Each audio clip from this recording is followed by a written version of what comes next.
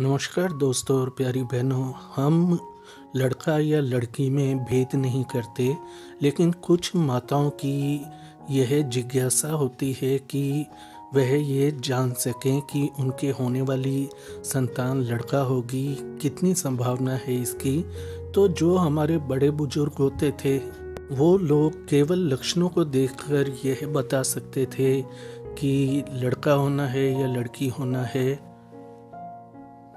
आज हम आपसे ऐसे ही दो लक्षणों के बारे में चर्चा करेंगे जो ये साबित करते हैं कि आपकी अगली संतान या पहली संतान लड़का होगी, क्योंकि ज़्यादातर जो हम लक्षण बताएँगे वो उन माताओं में देखने को आते हैं जिनको लड़का होता है। यदि लड़का होने के लक्षण की बात करें तो यदि चौथे माह के अंदर प्रेगनेंसी के चौथे महीने में आपके स्तन के अंदर दर्द महसूस हो और वो दर्द जाए ना बना रहे प्रेगनेंसी के अंत तक। तो यह लक्षण, यह संकेत देता है कि आपकी संतान लड़का होगी।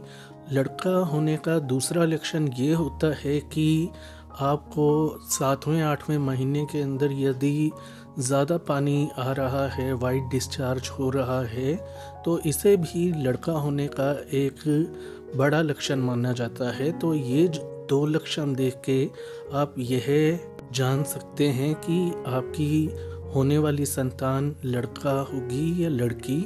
जैसा कि आप सभी जानते हैं, हमारे बड़े बुज़ुर्गों की देन या उनकी शिक्षा आज तक भी चलती आ रही है।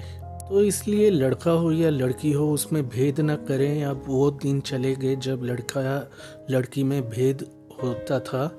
जो भी आपकी संतान हो, उसे दिल से अपनाएँ और उसकी परवरिश का पूरा ध्यान रखें। आगे चलकर लड़का और लड़की दोनों ही नाम आपका ऊँचा कर सकते हैं, बड़े पदों पर जा सकते हैं। मेन बात ये होती है कि संतान को संस्कार देना, सही संस्कार मिलते हैं, वह लड़का हो या लड़की, आपका नाम पक्का रोशन करेगी। तो दोस्तों, ये थी आज की जानकारी। आज के लिए इतना ही। इस वीडियो को लाइक करें, शेयर करें, चैनल को सब्सक्राइब करें, अपना ख्याल रखें। धन्यवाद।